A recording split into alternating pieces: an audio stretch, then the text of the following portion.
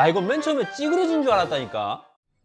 지금 보시는 영상에 구독과 좋아요 그리고 알람 설정까지 부탁드려요. 좋아! 낭만공장 조금컴 조실장입니다. 오늘 해볼 얘기는 라데온 그래픽카드 관련돼서 얘기를 좀 해보려고 해요.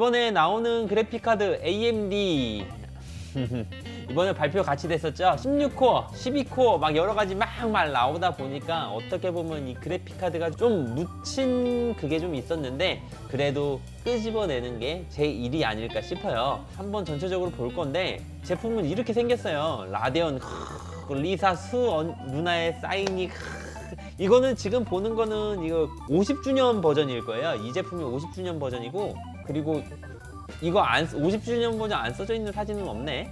어 이거다. 이거 이거는 50주년 버전이 아닌 거. 라데온 XT 막 이런 식으로 나와 있는데 가격이랑 전체적으로 스펙 정리표가 비디오 카드에 올라와 있어서 그거를 기반으로 좀 얘기를 좀 해보려고 해요. 이번에 이제 RX 5700과 5700 XT 두 가지 제품군을 얘기를 해보려고 합니다.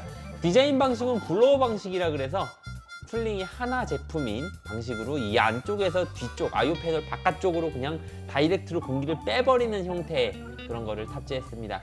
지금 보시면 5700 XT 50주년 그리고 5700 XT 그냥 5700 가격대 그리고 성능을 좀 알아볼 건데 5700 XT 먼저 말씀을 드릴게요 이게 기준이 되어야지 5700을 비교하고 50주년을 비교하니까 뭐 코어는 2560개 기준으로 잡고 우리가 봐야 될 건 솔직히 여기서 뭐, 뭐 테라플롭스라든가 막 그런 거를 다 할 필요는 없어요. 우리가 볼 거는 동작 속도 부분만 보면 되고 코어 부분만 보면 돼요. 그리고 나아가서는 이 메모리의 종류가 무엇인지 용량은 얼마인지 그 정도만 보면 되는데 DDR6 종류 그리고 8기가의 메모리를 가지고 있습니다. 둘 다 마찬가지고요. 지금 보시면은 동작 속도가 1605 베이스죠. 이게 1680 기본적인 동작 속도를 좀 더 끌어올린 그리고 부스트까지도 다 끌어올린 제품이 50주년 제품이라고 보면 돼요. 그러니까 기본 제품에서 더 끌어올린 거를 50주년. 기존 제품이 XT 그 아래 단계 제품이 아니고요. 아래 모델이에요. 급이 달라요. RX 5700 XT 같은 경우는 RTX 2070에 비교할 수 있고요. RX 5700의 경우는 RTX 2060에 비교할 수 있습니다 실제로 행사에서 보여줬던 거를 토대로 하자면 RX 5700 XT의 경우 RTX 2070 대비 QHD 기준으로 10% 정도 향상됐다고 보시면 되고 5750주년 에디션은 499달러 그리고 5700은 449달러. 어, 50달러 정도 차이가 나네요. 어. RTX 2070 같은 경우는 499달러에 나왔어요. 그러니까 성능은 RTX 2070보다 살짝 높으면서 가격이 50달러가 더 싼 제품이 5700 XT라는 거예요. 그래서 지금 루머로 굉장히 많이 돌고 있는 게 슈퍼 2070 해가지고서 2070 Ti 나온다는 소리 있고 2070이 업그레이드 된다는 소리가 있고 그렇기 때문에 왜 그러냐면 언제나 AMD 쪽에서 그래픽 카드를 그 엔비디아보다 살짝 높게 내면은 그거를 갈아엎는 애가 또 나와요. 항상 그랬어요. 그래서 이번에 슈퍼 나오는 것도 아마 5700XT를 기반으로 했기 때문에 나오지 않나 싶어요. 하지만 현재로서는 5700XT가 RTX 2070보다는 조금 더 높은 성능을 내고 있고 낮은 가격대를 가지고 있기 때문에 어, 엔비디아 측에서 바로 나오지가 않는다라면은 RX 5700 XT 굉장히 성능 좋고 쓸만한 제품이 될 것 같아요. 음, 충분하네요. 좋네요. 근데 blower 방식이라 좀 마음에 들진 않아요, 사실. 뭐 기본적으로 뭐 이제 다른 업체들에서 가져가면서 뜯어 고치지 않겠어요? 그걸 좀 기대해 보고요. RX 5700 XT 같은 경우는 굉장히 잘 나온 제품이라고 생각되기 때문에 눈여겨 보셔도 괜찮은 제품일 것 같습니다. RX 5700을 한번 볼 건데요. 뭐 코어 개수는 조금 떨어진 개수를 가지고 있고 뭐 응답 속도, 뭐 테라플롭스는 차이가 나고요. 동작 속도에서도 좀 차이가 나는 걸 볼 수 있지만 DDR 종류와 메모리의 양은 같아요. 가격은 379달러. 이 제품에 비교되는 제품으로는 RTX 2060을 좀 꼽을 수 있을 것 같아요. XT 제품과 마찬가지로 5700의 경우 RTX 2060과 QHD에서 게임을 비교했는데 대략적으로 10% 이상의 성능 향상을 보여줬고요. 가격은 조금 더 비싸요. 얘가 왜 또 비싼지 모르겠어.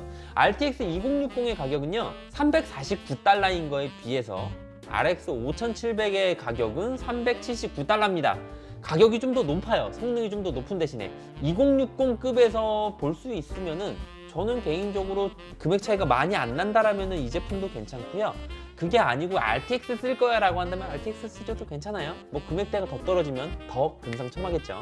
개인적으로는 5700보다는 5700XT라는 제품이 조금 더 메리트 있고 조금 더 사용했을 때 더 부가적으로 얻는 요소들이 많다라고 판단되기 때문에 저는 5700보다는 RX 5700XT를 조금 더 마음에 드네요. 조금 더 마음에 들어요. 그리고 나비 10으로 오면서 달라진 점들을 알고 계셔야지 기본적으로 오 이런 게 달라졌구나 할 텐데 뭐 공정이라든가 뭐 이것저것 뭐막 바꾸는 거 머리 아프잖아요. 그런 거 신경 쓰지 마시고 우리가 실제로 게임하면서 즐길 수 있는 거 그게 바로 무엇이냐면 바뀐 거는 두 가지예요. 질감 상승 그리고 텍스처의 선명함 그런 것들이 추가가 됐는데 뭐 Fidelity FX 그리고 뭐 image sharpening 이렇게 두 가지가 있는데 그냥 직역하자면은 뭐 질감 상승 그러니까 실제로 이런 것들을 봤다라고 하면은 보여지는 거에 대해서 훨씬 더 질감이 상승하고 그리고 선예도가 딱 깔끔하게 좀 더 샤프하게 그런 기술이 탑재가 되어 있다고 보면 되시고요. 응답 속도가 RTX보다 10% 정도 향상된 거를 보면은 전체적으로 좋은 그래픽 카드는 맞는데 왜 하필 다 10% 정도야? 뭐 더 완전 더 끝내주게 갈 수는 없나? 다 10%대를 맞춘 것처럼 성능도 가격도 응답 속도도 막 그런 것들도 다 10% 정도씩 차이 나요. 10% 정도씩 다 좋다라고 보시면 되고 쉽게 그냥 RTX 2060, RTX 2070이 AMD에서 RX 5700과 5700 XT 그렇게 나왔다라고 보시는 게 제일 편할 것 같아요. 가격도 괜찮고 성능도 쓸만하고 음, 정말로 괜찮은 제품이고 이번에 12코어, 16코어 이렇게 나온 것처럼 정말로 그래픽 카드도 신경 써서 나올 수 있다라는 거를 볼수 있는 첫 번째가 된 게 아닌가 싶어요. 이제는 우후죽순 나올 거라고 생각을 하고 라인업들도 쭈르륵 잡아서 추가적으로 나올 거라고 생각을 하니까 기본적으로 이제 그래픽카드 시장에서도 혼자서 해먹는 방향이 아닌 둘이서 같이 해먹는 방향이 될 거고 CPU도 혼자서 해먹다가 이렇게 됐잖아요. 그래픽카드도 엔비디아 혼자 해먹다가 이제 이렇게 되는 시장이 되어버린 거죠. 점점 더 발전되고 여러분들의 선택폭이 넓어지길 기대하겠습니다. www.조군.com 놀러 오시면 조립컴퓨터 관련 견적 문의, 구입, 요청 다 가능하시니까 많이들 놀러 오세요. 고맙습니다. 뿅!